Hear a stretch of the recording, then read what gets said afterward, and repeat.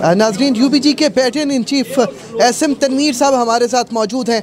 आज ताजर बरदरी की सबसे बड़ी खबर के साथ ए पी सी सी आई में आज ऐलान किया है। आज एस एम तनवीर ने प्या founder L B F alliance की मुकम्मल हिमायत का ऐलान किया है लाहौर चैम्बर ऑफ़ कॉमर्स के इंतबात में। और आज उनसे हम बात करते हैं। यकीन एस एम तनवीर साहब लाहौर भर की ताजिर बरदरी आपकी तरफ़ देख रही थी कि क्या ऐलान आप करते हैं? और बाकायदा आज आपने ऐलान किया इस अलाइंस की हिमायत का। क्या कहते हैं कितना पावरफुल ये अलाइन साबित हो हैं देखिए इलेक्शन इलेक्शन होता है और मेहनत करनी पड़ती है। अलाइंस करने का मकसद ये है मैं पहले न्यूट्रल था बिल्कुल, और मैं देख रहा था कि कहाँ पर अच्छे लोग जमा हो रहे हैं। ये जो प्या founder L B F alliance हुआ है, इसमें बहुत अच्छे लोग सब जमा हो गए हैं, मुझे बहुत खुशी है। ये वो लोग हैं जो मुल्क के लिए काम करेंगे, लाहौर चैम्बर है तो लाहौर के लिए काम करेगी तो ऐसे ही अच्छे लोग चाहिए।